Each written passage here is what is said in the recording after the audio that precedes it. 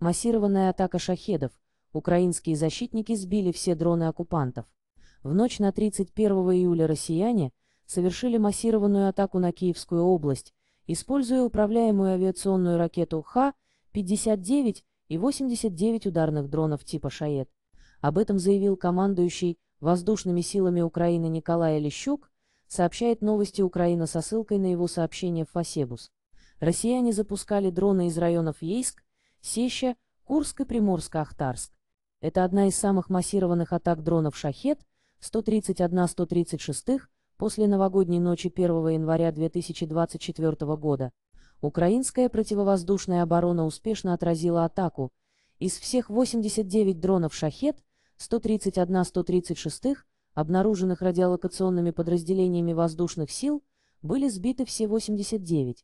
К обороне привлекались мобильные огневые группы всех сил обороны Украины, тактическая авиация воздушных сил, армейская авиация сухопутных войск, зенитные ракетные подразделения РЭП воздушных сил. Также была сбита управляемая авиационная ракета Х-59, которой враг атаковал Николаевскую область. Атака дронов 31 июля.